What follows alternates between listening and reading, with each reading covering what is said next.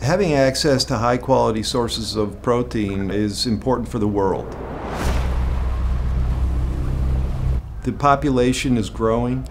By 2050, we're going to need to double our food production.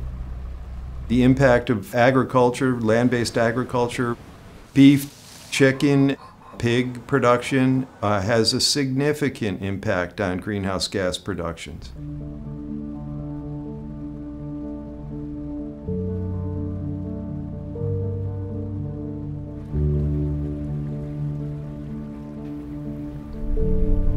What we have seen during COVID is that the importance of seafood in the American consumer's diet has caused a tremendous problem for the supply chains to the American consumer.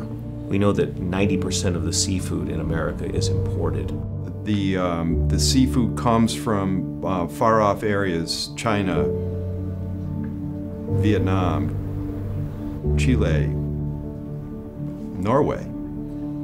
And those, that transportation, those logistics uh, require air miles. And we know that the, the greenhouse gas contribution from air traffic uh, is very significant. If we can produce food right here in, in the coast of Maine, close to the marketplaces uh, on the East Coast, uh, that can have a very positive effect.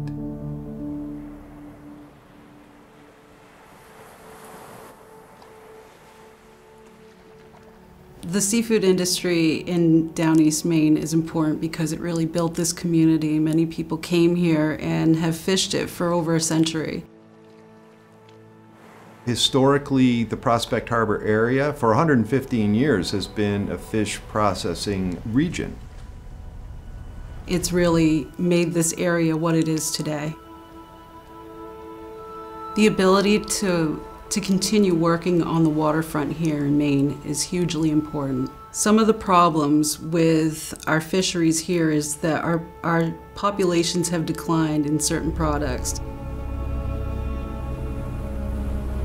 Wild Atlantic salmon have been endangered for decades, and that fishery is now gone. We'll never be able to utilize that ever again. The decline in salmon uh, has happened because of overfishing. It's happened because of environmental factors. Rivers, streams have been uh, dammed off, and that's really caused the demise for native Atlantic salmon. Converting to farm raised aquaculture is an important piece of the future of the Maine economy.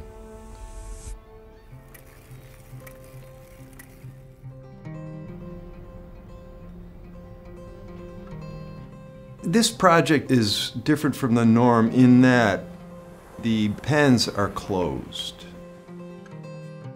Normally the pens are open and the wastes uh, sink to the, the sea floor and create any number of environmental issues. Traditional salmon farming has many factors that affect the environment. It destroys the ocean floor beneath the pens. Consequently, those pen sites need to be moved on an annual basis and left fallow so that the sea can recover. With closed pens, you don't have to do that. The, the, the sea floor is not impacted. The significant component of that concept is that the wastes are transported to shore where they're dried and using biodigesters turned to biofuel, which can, can create energy.